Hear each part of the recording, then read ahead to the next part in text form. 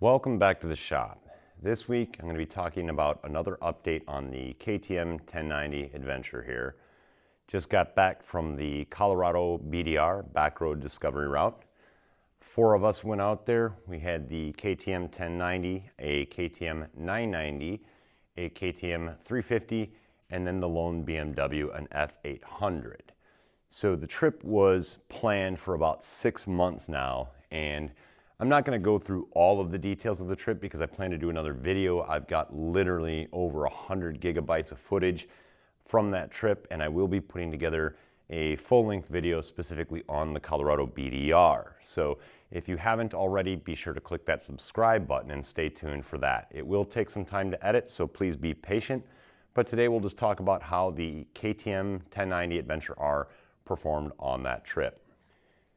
Back in February, I knew this trip was coming up, and that honestly was a big portion of what influenced my final decision to buy the KTM 1090 Adventure R.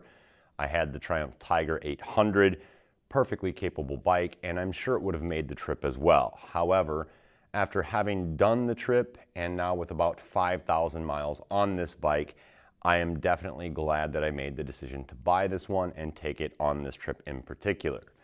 The terrain on the Colorado BDR is a wide, wide range. Everything from open flowing gravel roads to two track through the woods to rocky mountain passes. Again, after having done the trip, after having ridden this terrain, I am really, really glad that I made the choice that I did to go with the 1090 Adventure.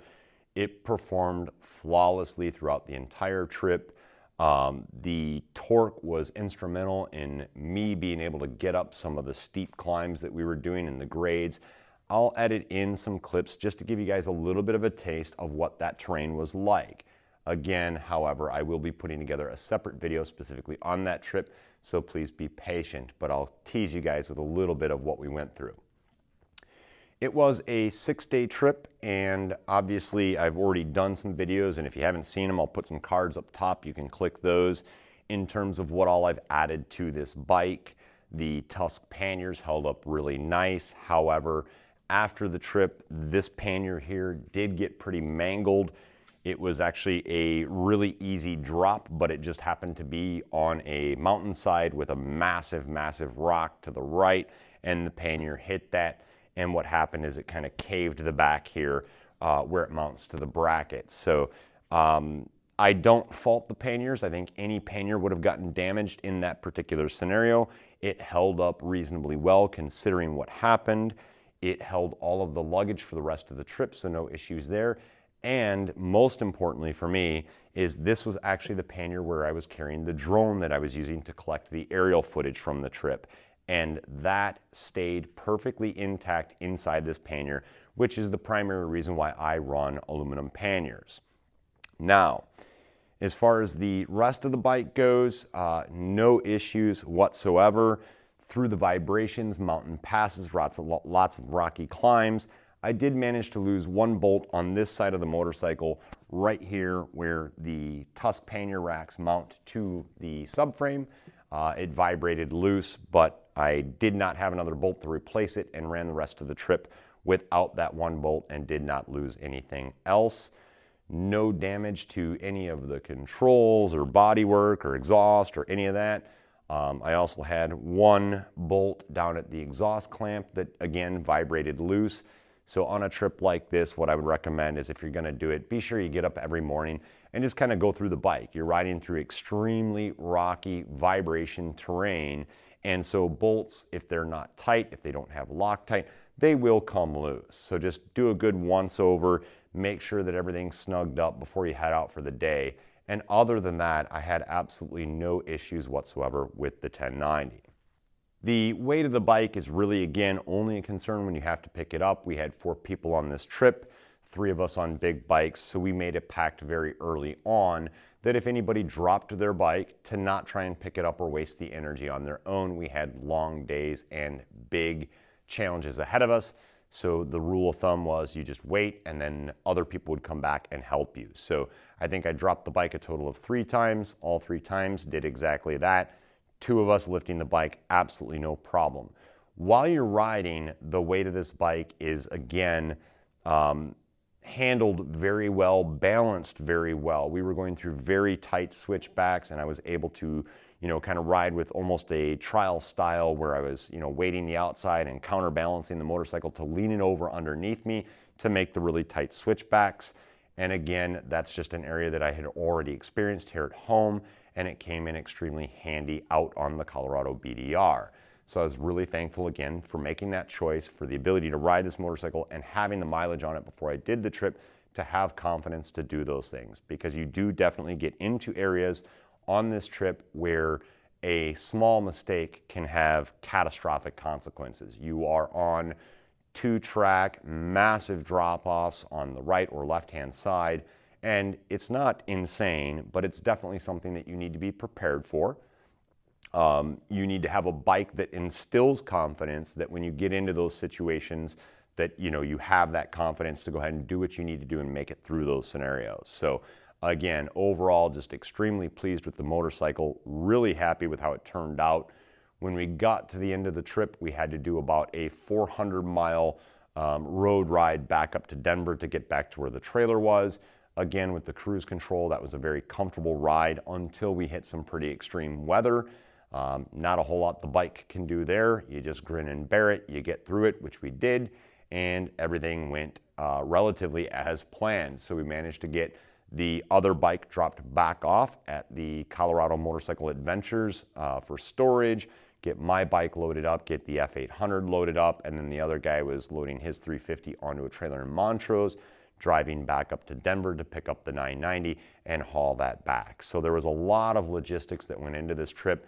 Again, I want to say thank you to John C., who really put in the biggest effort in terms of coordinating that, who helped out right before I left for the trip when things were not looking so great for the KTM 1090 with the leaky fork seal. Uh, we got that all together. Obviously, the bike made it out there. The trip was a phenomenal experience. I'm so happy to have had the experience. Um, I will say that if you're considering doing this trip, please make sure that you are comfortable riding in a great deal of terrain because again, it's not overwhelming, but there is some very challenging terrain and you need to have that confidence to ride over this terrain and handle unexpected events from occurring, lots of animals. Again, you're riding on very large mountainsides that have significant drop-offs with very, very big consequences if you make a mistake in the wrong place. We were very fortunate. We had four bikes. All four of them made it. Minor mechanical issues along the way. We were able to fix all of those uh, roadside. Took a few trips to hardware stores and whatnot. We only had one flat tire. But again, overall, all four of the bikes performed really, really well. And the KTM 1090 in particular, in my opinion, I could not have asked for any more from the bike. It performed flawlessly. It gave me the confidence that I needed to ride through all these varying terrains. And the balance of the motorcycle, again, played a key role in being able to make it through tight switchbacks and scenarios like that. Uh, we hit some off-road sections with some little bumps that you could kind of, you know, get a little bit of air off of. Those were really fun. The suspension on the 1090 is again a standout feature. I was extremely happy with it. Played a little bit with the adjustments on the front forks, not too much, just a few clicks of compression and rebound. Um, again, just kind of trying to get a feel for what that was like. Uh, definitely makes a difference. You need to take some time and figure out the setting that works best for you. The manual is a great place to start with those settings. It'll give you some general guidelines. Make sure you take into account considerations for luggage that you're hauling, things of that nature.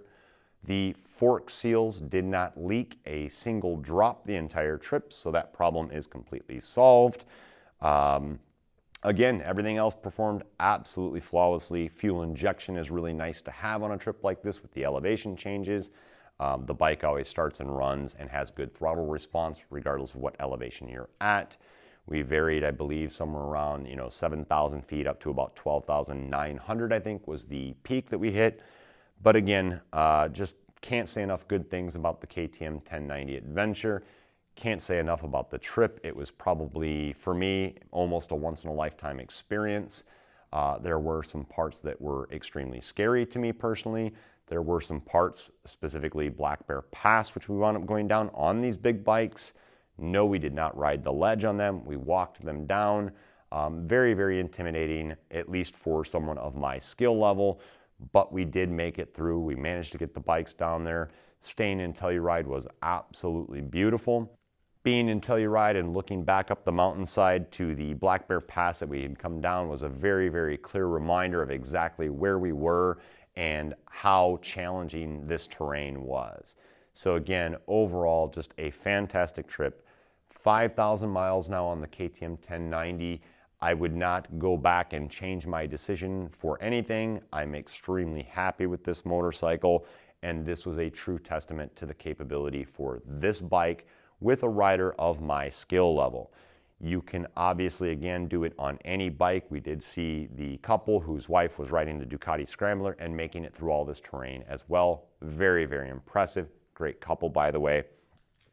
And so, you know, again, this trip was just um, a good test of all of the capabilities, all the things that you buy an adventure bike for.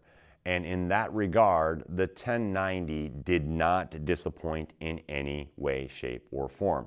The power delivery, the balance, the suspension, all of those things came together and really made the trip as enjoyable as possible. And I couldn't imagine have having done the ride on any other motorcycle. I'm really, really pleased that this is the bike that I had on this trip. Um, if I had it to do over again, would I change anything? Yes. We overpacked. I think that always happens. Um, but it added a little bit of weight. The bike carried it well. Um, you know, the top rack here with the bungee straps, it worked really well. We did a grocery run one night, strapped the groceries on the back and rode back with those. So that came in extremely handy. The center stand would be a nice add-on. Uh, the 990 was the one that got the flat and it had a center stand. So we were really fortunate. It made changing that tube really easy. I'm optimistic that uh, I won't run into too many issues like that because this is a tubeless setup. Um, not a tubeless as in the gel inserts, but just no inner tubes in the wheels. Uh, so hopefully in most scenarios you could just use a tire patch kit and you wouldn't necessarily need the center stand. But in those scenarios where you need to lube the chain or any of that type of maintenance and you're out in an environment like this, it certainly would come in handy. I might still add one to this motorcycle. Um, after doing the trip, the other thing that I know is still on my list to do is the exhaust. I will be swapping that. That'll drop about seven pounds off the motorcycle. That way, if I decide to do the center stand and add some weight back in, hopefully the two will offset each other and everything will remain pretty much where it is today. The SW-Motech uh, tank ring and tank bag worked really, really well. It only came loose one time, and that usually happens if you stop at a gas station and you don't make sure that the bag is fully locked on there. But considering the terrain that we went through, I was really, really impressed that this tank ring setup held the bag in place through all of that terrain with no straps on the bag. So really, really pleased with that. I'm not a big fan of straps anywhere, whether it's rear luggage, top rack, or tank bag. So I was really pleased with that. Again, there will be more videos to come. So again, if you haven't already, please click that subscribe button and stay tuned. We've got some really incredible footage Again, it is over 100 gigabytes of footage, so it's going to take me a really long time to do the editing on that. So please bear with me, please be patient. And if you like this video, be sure to give it a thumbs up, be sure to share it on social media, and until next time, take care and ride safe.